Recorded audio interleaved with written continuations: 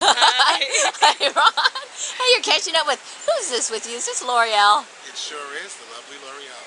Oh. Hi, good to see you again. And Lorielle, how's your show going? I mean, I keep hearing about it all over the place. Well, I have just this week, last week, I crossed 1 million viewers on my, my little tiny internet show out of my house and on my laptop on livevideo.com. I have a million viewers on my my daily show. Hi, Daddy. That's Wow. Uh, yeah, fabulous. it's been really great. I just wrapped the lead in a film that's coming out in theaters in January. It's called The Pit and the Pendulum. Ooh, And, the um, pit, like, is Brad Pitt going to be in there? No, Oh. it, it's uh, no, unfortunately. Um, it's based on the Edgar Allan Poe film and um, the Edgar Allan Poe short story actually. Right. And they did the film in the '60s with Vincent Price as the lead, and um, they've redone the script, and now it's a diabolical diva, and um, so that's me.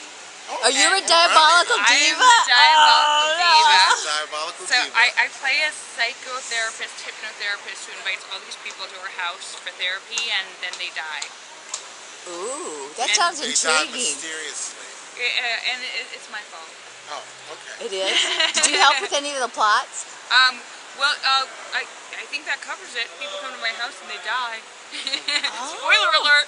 oh, maybe. Come on, there's some twisters in there. Tom. Hmm. Uh, no, but it, it's really good. It's by Regent Entertainment. They own um, the Here Network. They own Out Magazine and Advocate Magazine. Uh, they have uh, their own distribution company. They distributed Paris Hilton's last film and Tori Spelling's last film. Okay. Wow. Um, yeah, they they won an Academy Award for Gods and Monsters. So uh, it's a really good company. It's a really good crew.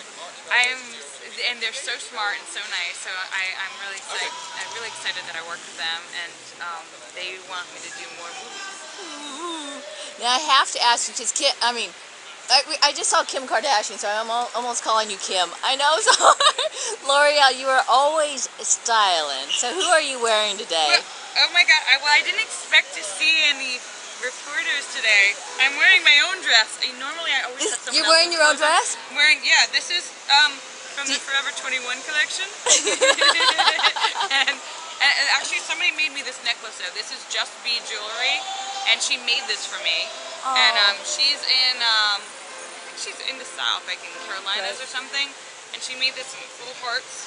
And, That's um, really sweet. yeah, and, uh, and and Ed Hardy gave me the watch, Of course. and um, and And shoes. the shoes? shoes are they have the red bottoms. Oh, those are pretty. Yeah, but they're from Oh Dear Shoes, and I got them from Zappos.com because Zappos gave me $650 worth of free shoes. Oh! I love Zappos.com. Okay, now Laura, I have to ask you, how do you have, how do you manage your closet space? Um, well, I have a lot of shelves and stacking boxes, and it's all organized by color. And yeah, I have 160 pairs of shoes. Okay, so don't confuse her with Imelda.